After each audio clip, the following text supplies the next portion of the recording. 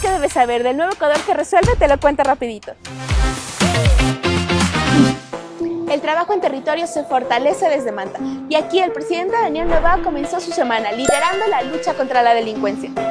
Los resultados están a la vista. Desde la llegada del bloque de seguridad a la provincia de Manabí no se han registrado muertes violentas. La Policía Nacional y las Fuerzas Armadas están equipadas y protegidas para seguir luchando contra la delincuencia y cuidando de los ecuatorianos. 10.500 chalecos más para los servidores policiales. Miles de mujeres ya tienen en sus manos las becas Futuro Femenino, que fortalecen su capacitación. 15 millones de dólares se han invertido en cuatro unidades educativas que benefician a Pichincha, Guayas y Manabí. El precio conoció la unidad educativa Las Acacias en Guayaquil, que casi está lista, en donde más de 2.000 estudiantes se prepararán en sus aulas.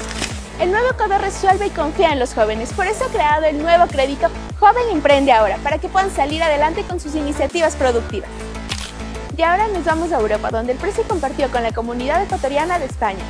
Y en Suiza participó de varias reuniones, además expuso la importancia de la seguridad alimentaria.